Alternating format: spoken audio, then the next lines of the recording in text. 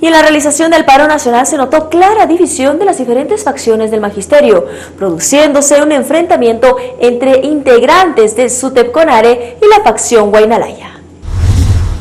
Con diversas agresiones físicas y verbales, los docentes del SUTEP desarrollaron el paro nacional convocado para este 30 de mayo. Paro preventivo. Ya a los próximos días va a haber una asamblea nacional, ahí se va a evaluar este paro y luego se va a llevar a una consulta para el inicio de la huelga nacional indefinida. ¿Cuántos maestros se encuentran el día de hoy?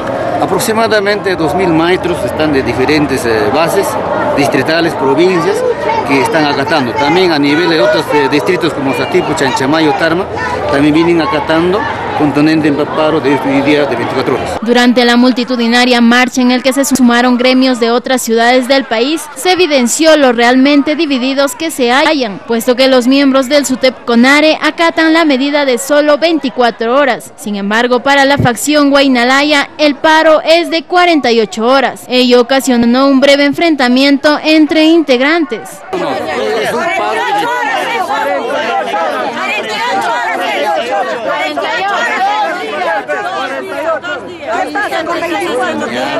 Los docentes del SUTEP acatan del paro preventivo en demanda de mejores salarios y en contra de la ley de la reforma magisterial y de la posible racionalización de plazas, ya que vendría vulnerando los derechos de los docentes y de los estudiantes de las zonas periféricas. El reclamo es, por ejemplo, la defensa de la educación pública gratuita, la derogatoria de la reforma magisterial y así otros puntos más que está a del magisterio, ¿no? En caso la medida no sea escuchada, ellos amenazan con irse a la huelga nacional indefinida programada para este próximo 4 de junio.